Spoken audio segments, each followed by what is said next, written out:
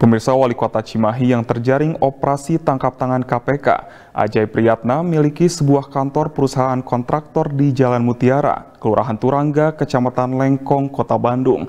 Selama miliki kantor di kawasan tersebut, Ajay belum pernah sekalipun melaporkan kependudukannya kepada pengurus maksud kami wilayah setempat atau ketua RT.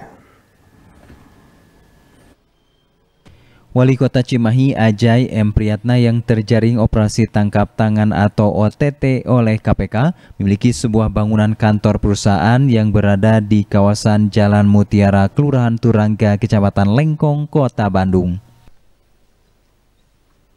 Berdasarkan pantauan di lapangan Sabtu siang, kondisi kantor milik orang nomor satu di kota Cimahi tersebut tampak sepi, tak ada aktivitas seperti layaknya perkantoran pada umumnya.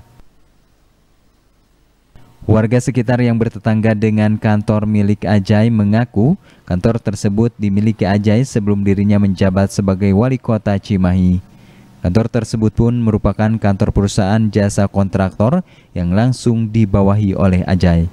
Para tetangga pun jarang melihat Ajay datang ke kantor setelah menjabat sebagai wali kota Cimahi. Emang ini mah dari sebelum jadi wali kota juga udah punya dia. Oh, udah punya Pak Ajay? Iya, sebelum jadi wali kota. Ya.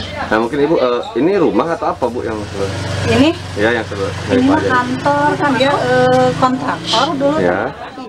Sementara itu, Ketua RT di lingkungan kantor Ajay Berada mengaku pihaknya hanya mengetahui informasi dari masyarakat terkait kepemilikan kantor tersebut karena semenjak dibeli oleh Ajay dan berdirinya kantor, Ajay belum pernah lapor kepada RT.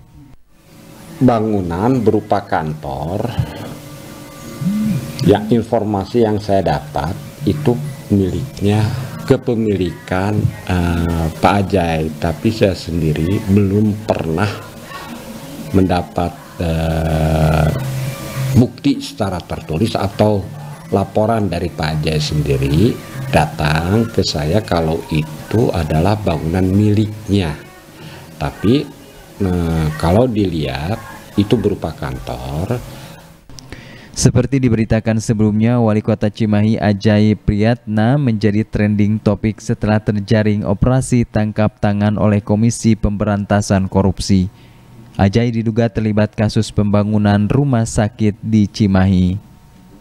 Yuana Kurniawan, Bandung TV.